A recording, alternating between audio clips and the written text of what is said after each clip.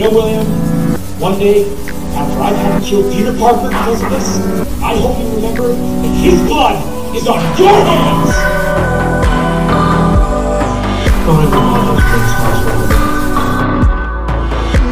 I like you, Peter. Good kid. But for what is worth, Peter, it really I know you were close.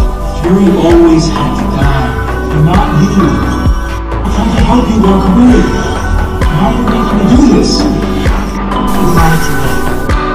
I trusted you.